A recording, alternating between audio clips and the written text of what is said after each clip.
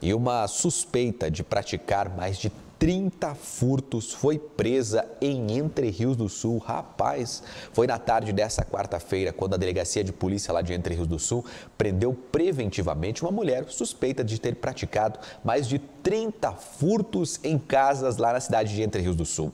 Os crimes ocorreram no período aproximadamente de um ano e depois de apurar a autoria, a delegacia de polícia do município representou junto ao Poder Judiciário a decretação da prisão preventiva da suspeita. A vara judicial da comarca de São Valentim deferiu o pedido pedido na quarta-feira. A suspeita foi presa. Após os trâmites na delegacia de polícia, a presa foi encaminhada ao sistema prisional.